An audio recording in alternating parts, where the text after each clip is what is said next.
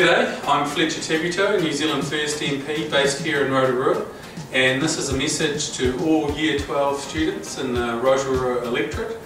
I want you to make a video.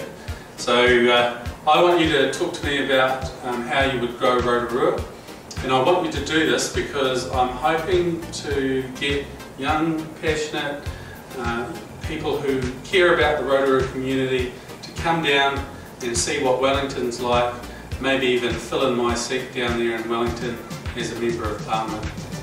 So for those of you who are interested, uh, first you need to create a two or three minute video letting me know what would you would do to grow Rotorua. Your video then needs to be uploaded to YouTube and then linked to my Facebook page before the 19th of September. Once your video has been posted, you will need to email my office with the following information. Your name, birthday, contact phone number, the name of your school, and a short paragraph on what interests you. Once that's done, you're encouraged to get your friends and family to like your video as the amount of likes will be factored into the selection process.